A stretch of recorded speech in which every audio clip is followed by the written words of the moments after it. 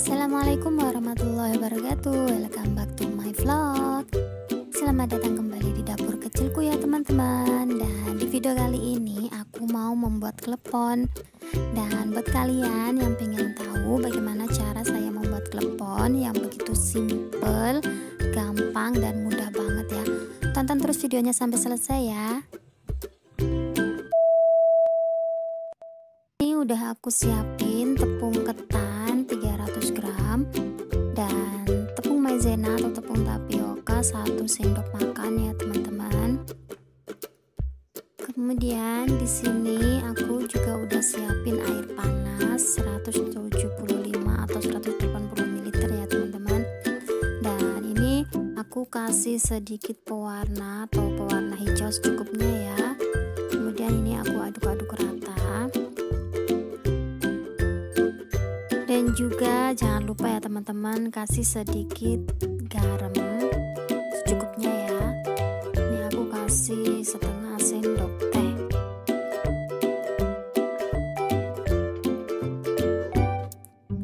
Nah kemudian mau aku tuangin air panasnya. Kemudian mau aku aduk rata sedikit demi sedikit ya nuanginnya teman-teman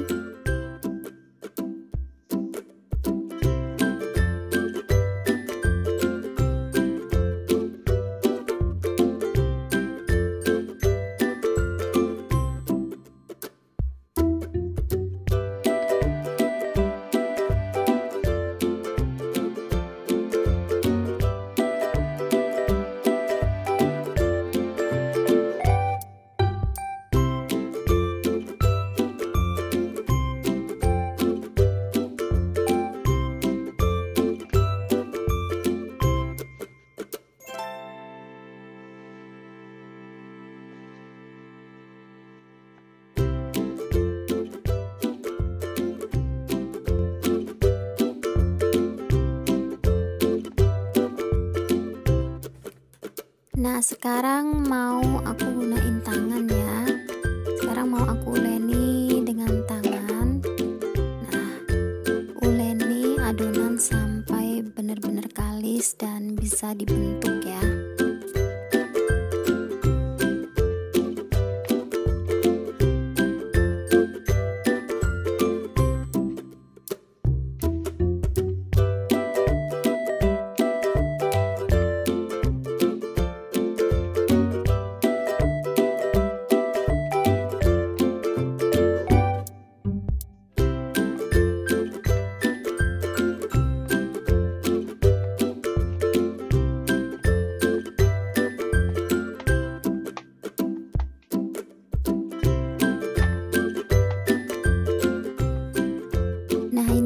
udah selesai udah kali ya teman-teman. Adonannya udah bisa dibentuk udah bisa di bulat-bulat ya.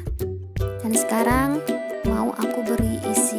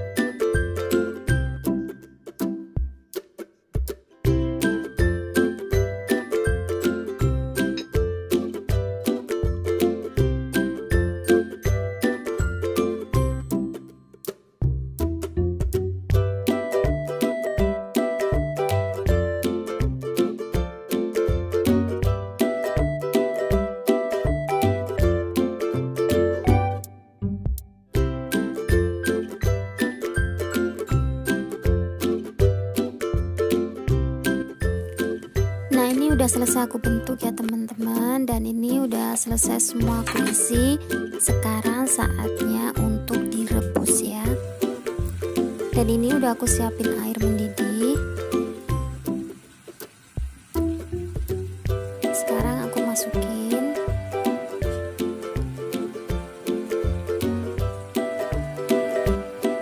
Iya teman-teman buat kalian yang punya daun pandan mungkin dikasih daun pandan saat merebus kleponnya ya biar baunya itu wangi. Karena ini aku nggak punya daun pandan jadi aku cuman rebus pakai air doang ya. Ini aku masukin semua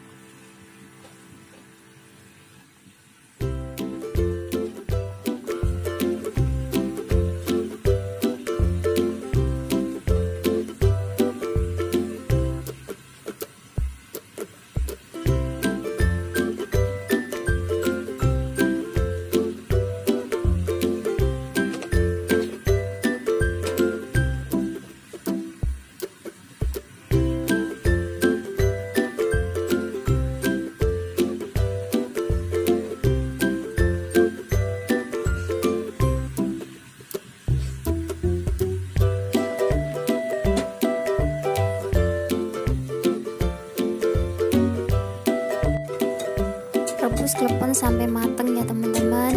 Nanti kalau udah mateng dia ngapung semua mengambang ke atas. Itu tandanya udah mateng ya. Nah ini kleponnya udah mateng ya teman-teman. Semua udah pada ngapung ke atas air. Sekarang mau aku angkat aku tiriskan ini juga udah aku siapin kelapanya ya teman-teman. Karena di sini tuh susah banget nyari kelapa fresh. Ini aku pakai langsung aku masukin ke kelapa ya teman-teman. Kalian boleh nunggu agak dingin atau juga bisa langsung diangkat langsung masukin ke kelapa ini karena mau langsung aku makan. Jadi ini langsung aku angkat terus aku masukin ke kelapa ya teman-teman.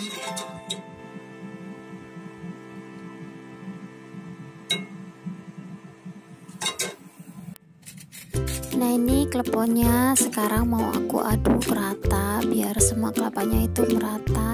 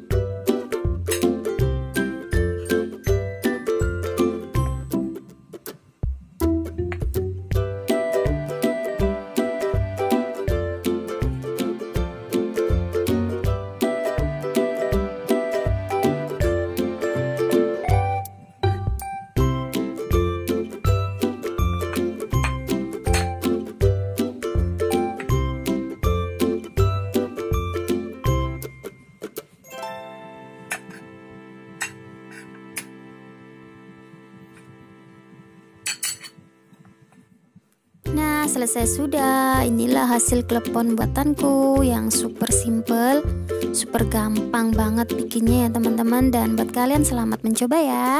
Semoga resep aku kali ini bermanfaat. Dan buat kalian yang belum subscribe channel aku, jangan lupa di subscribe ya. Di like, di komen, dan juga di share.